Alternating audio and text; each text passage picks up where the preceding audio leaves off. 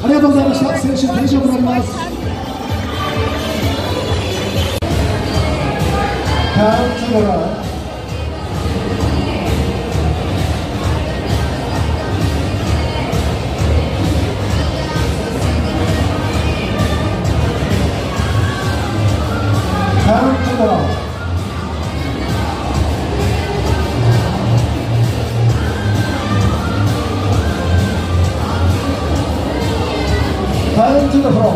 正面戻ります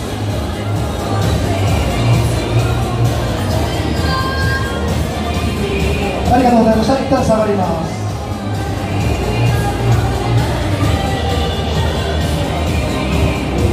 それでは選手全員前にお願いいたします大会番号全体前にお願いいたしますさあ、審査の比較が出揃ったようです。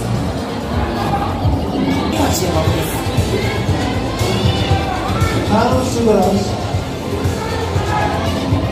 あ、このプレーアクションがあまり長すぎてしまうと、本来のポーズを見る時間が短くなります。カウントドライ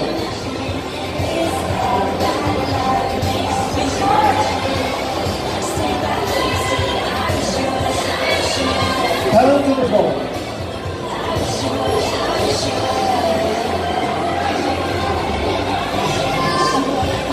2番下がってください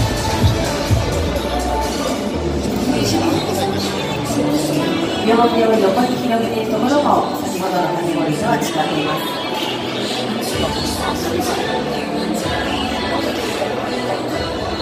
それではコーダーターンをお願いますカウントドライ